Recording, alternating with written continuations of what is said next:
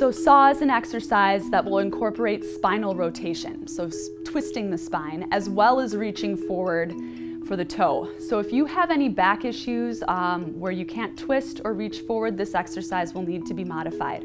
So leading right out of spine stretch forward, you'll extend your legs in front of you, Madeline, and open your legs up here a little bit wider than the mat and reach your arms out to a T position.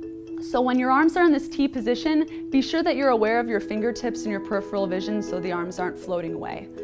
Find yourself a nice tall posture here to begin. Inhale. Then as you exhale, twist toward me and cut off your pinky toe with your pinky finger. So in this position, her back palm is turned up and her head is gently looking back toward her shoulder. Be sure you're not twisting your head. And her pinky finger is sawing past her pinky toe. Inhale, stack your spine up. Then exhale, twist all the way to the other side and cut off your pinky toe. That's it. In this position, it's important to feel both hips continuing to sit on the mat as well as the abdominals still lifting in and up. Remember, we're not about the chest to the thighs in these exercises, rounding forward.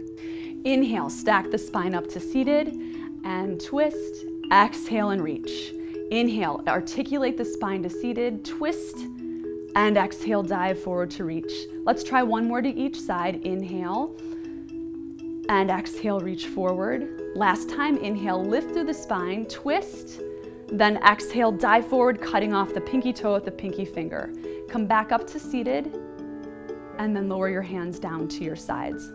So a way to modify this exercise is just to do the twisting without the reaching. So reach your arms to the sides here, Madeline, and just twist toward me gently, focusing on lifting the abdominals. Inhale to the center, and exhale, twist.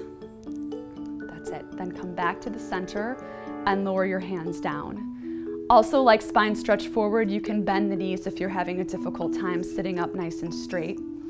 And with every Pilates exercise, to advance it, you flow with it. You go a little bit more quickly through flow in the movement.